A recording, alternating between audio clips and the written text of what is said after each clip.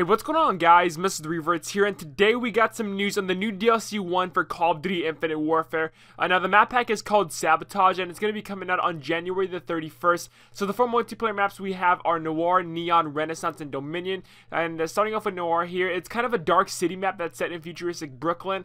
And in the gameplay that was shown in the trailer, it does look like it's raining too, so it's really cool how they've added elements into the game. The next up we have Neon here, and the Neon is a virtual training simulator that is Z-shaped, so kind of a weird map and also, whenever you kill someone, they burst into a bunch of blue triangles. But in the trailer, they're called polygons. And also, whenever you walk by the map, it actually generates cars, so you can use that for cover. And again, a very weird map in Infinite Warfare.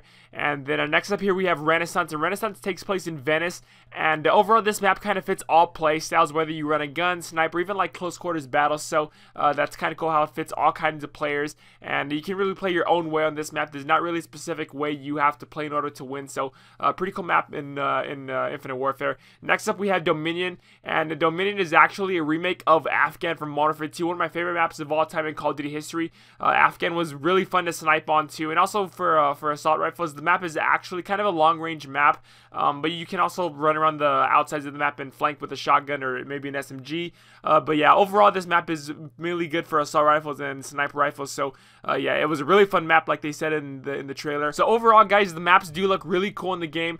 Uh, that Z-shaped map really ha hasn't been something we haven't seen before in Call of Duty history. Like, I really can't recall a map in Call of Duty that was a Z shape. So uh, that's going to be pretty interesting to see how that's going to play out. But again, guys, the new Sabotage DLC 1 is going to be coming out on January the 31st. Uh, that was kind of uh, revealed to us by one of the Infinite Warfare Zombies developers on Twitter. Uh, that was kind of like not supposed to happen, but uh, they still said that it was going to be revealed to us on January the 31st. So uh, yeah, overall, guys, I'm pretty happy that we're going to get some more multiplayer maps because I really don't like the base maps in the game for some reason. I'm just not a fan of those, but these four DLC maps do look really cool in the game, so I'm pretty happy about that, guys. Uh, let me know your thoughts about this, guys, down in the comments. Also, drop a like if y'all did enjoy.